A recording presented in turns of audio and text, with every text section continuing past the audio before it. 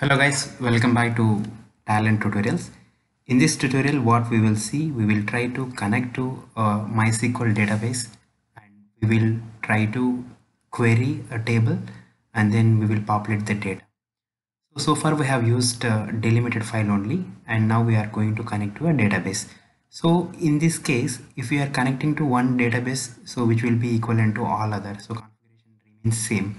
So let me first create a job here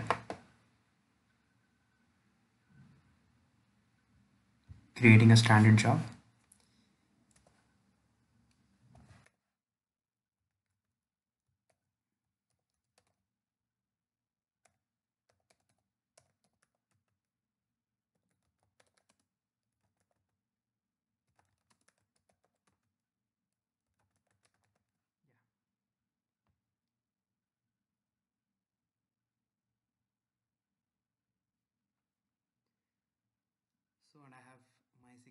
Database connect, connected already and this is my sample table ID, name age and salary okay. So I will go back to Talend here.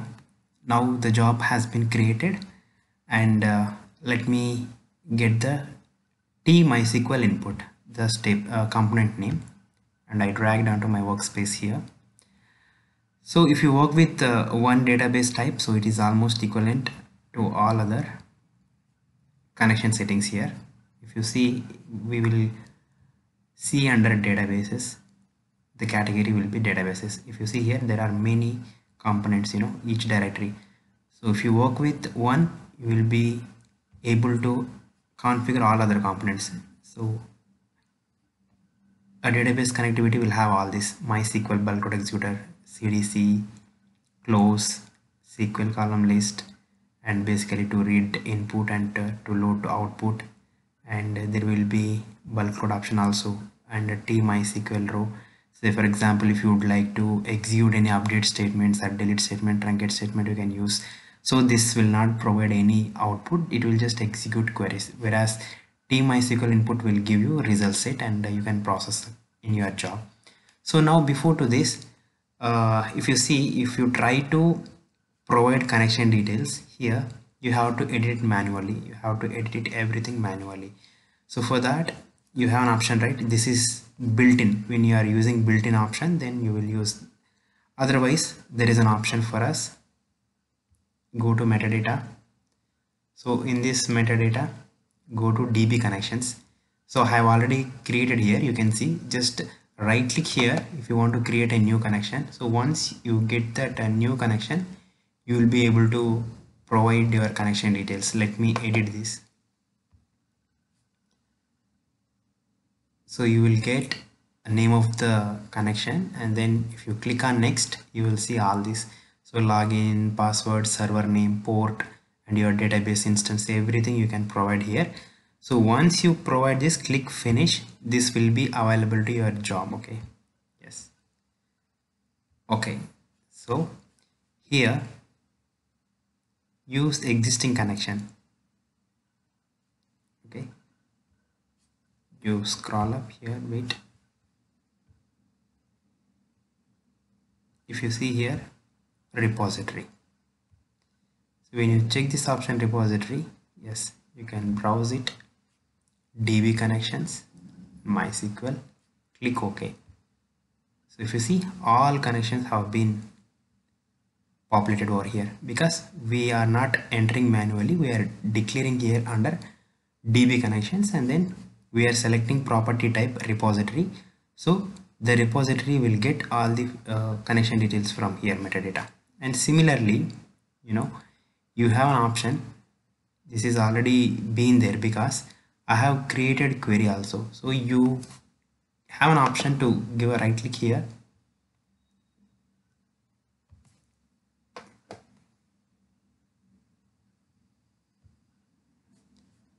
just cancel this. Let me edit this. Yeah edit queries. So here you have options. And for me there is a employee query already available. These are all stored queries. Okay and you can run here. Yeah you can display the data also here sample data. Yeah the data being displayed so I will delete first and then uh, let me show you how to add this delete. Yeah there are no queries you can see. It is running in the background and uh, I've just removed the query. So you can give a right click here.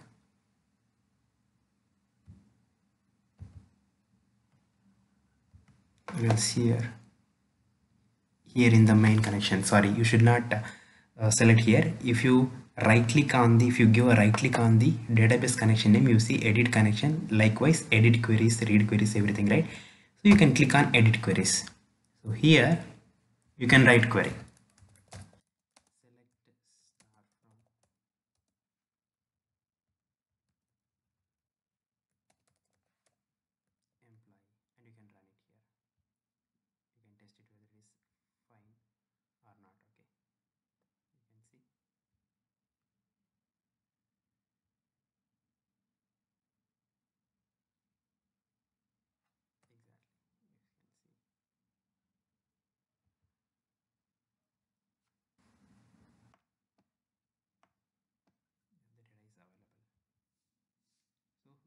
how you will add queries. Just click ok and if you see here you can give a query name. Sample query. Comment if you would like to give you can give comment.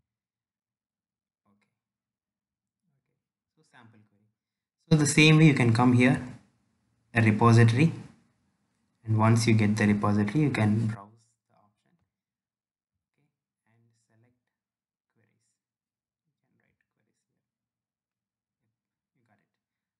provide the schema. You have to provide the schema. Even schema also again built-in repository you can select.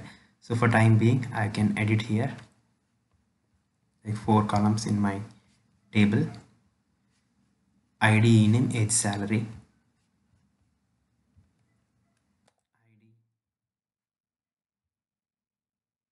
ID name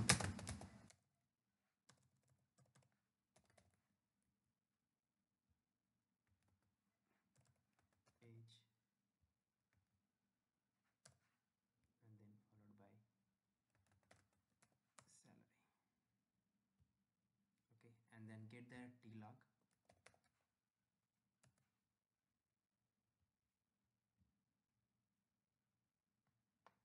provide connection between these two. Let me try to run it. Let's see what will happen.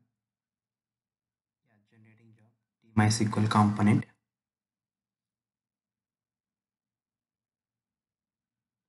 Maybe column names are uh, differ from database maybe we make it error or yeah still it is running because it's not considering. If you see the data has been retrieved from the MySQL. So this is how you can use MySQL input. You can connect to any database under database category and you can retrieve data from